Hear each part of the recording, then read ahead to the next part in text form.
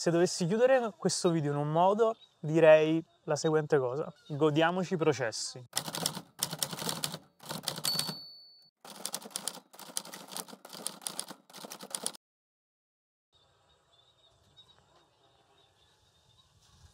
Hola! Benvenuti in un campo verde in Vietnam. Che vuole questo? Uh, can you... Do, dopo, ok? Dopo, dopo, dopo, dopo, dopo, do, dopo, dopo, ok?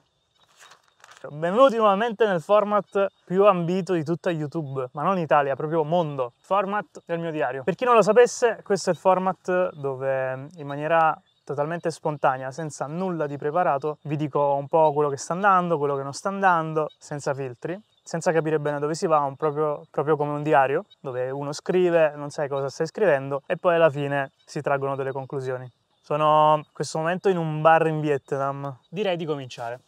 Rispondendo all'unica domanda che c'è in questo format, che poi ci trascina ovunque.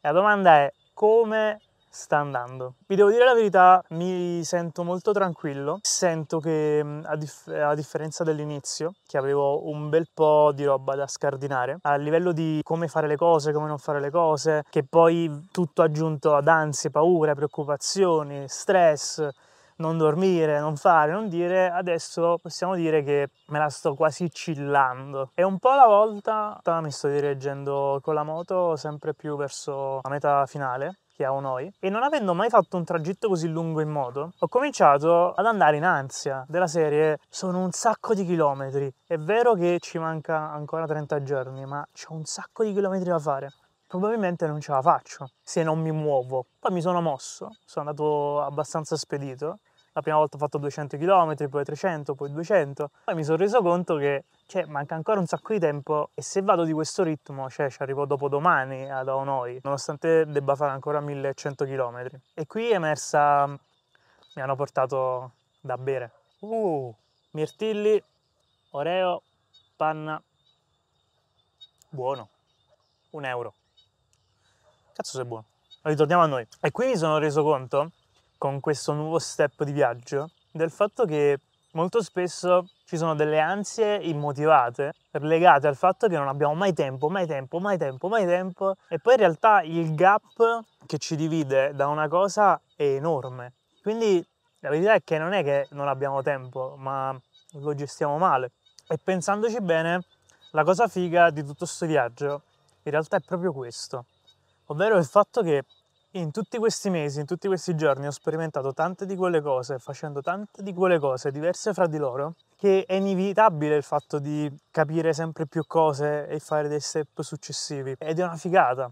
E infatti mi sono reso conto che se qualcuno guarda il mio canale adesso dall'esterno, potrebbe definirlo un canale dove si viaggia, un canale dove, dove, questo, dove quello, dove quell'altro, però alla fine la verità è che se uno dovesse dire Giulio Testa che cosa fa su YouTube? Probabilmente la risposta sarebbe boh, nel senso che mi rendo conto che non ho ancora una targetizzazione ben specifica.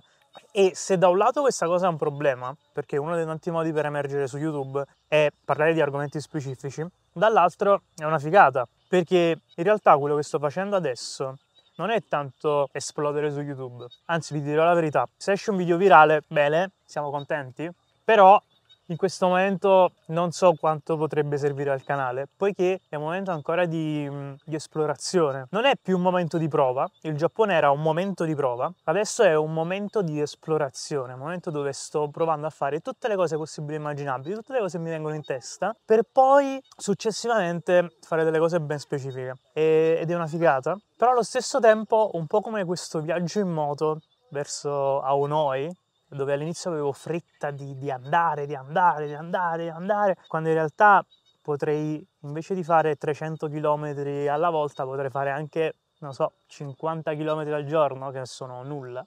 Oppure potrei fare di botto in un giorno 500 km, cioè posso gestirmela in tanti modi. La cosa figa è che non c'è nessuna fretta. Che fretta c'è? E può sembrare forse una cosa banale, ma è proprio quello che mi sta facendo godere questo processo prima pensavo a faccio un video, poi registro quello dopo, poi quello dopo ancora, poi quello dopo ancora, poi quello dopo ancora così ho 20 video in archivio e poi vado avanti, 20 vado avanti, vado avanti. Adesso invece sto facendo una cosa molto diversa, quasi l'opposto, ovvero il mio compito non è più riempire l'archivio di contenuti che poi verranno pubblicati. Il mio compito è quello di far sì che ogni video che realizzo sia al meglio che posso fare in quel giorno. Dal mio punto di vista, un passettino alla volta sto proprio cambiando la prospettiva. Da devo fare, devo fare, devo fare a questo è il mio compito di oggi.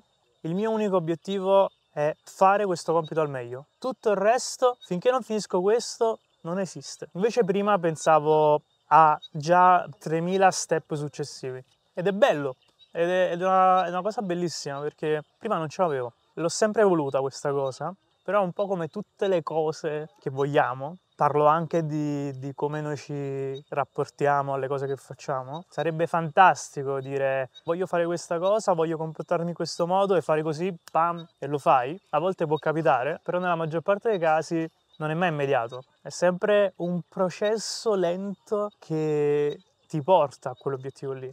Un processo lento che vale la pena godersi. E sapete che se dovessi chiudere questo video in un modo, direi la seguente cosa. Partendo dal presupposto che, come ben sapete, le riflessioni finali, di, le riflessioni finali dei video non sono mai dei consigli, ma sono del, degli inviti indiretti che faccio a me stesso, che, che condivido con voi. Quindi decidete voi se prendere qualcosa da queste cose o non prendere niente. E l'invito che faccio a me stesso oggi e condivido con voi, dopo tutta questa, questa riflessione così, è godiamoci i processi, godiamoci il fatto di fare al meglio quello che possiamo fare oggi e poi ricominciare una cosa nuova domani, senza pensare a domani, oggi e così via. Perché facendo così, accumulando roba, è solo un casino. Detto ciò, da questo tramonto fantastico del Vietnam è tutto. Sto coso è talmente buono che mi me ne faccio un altro.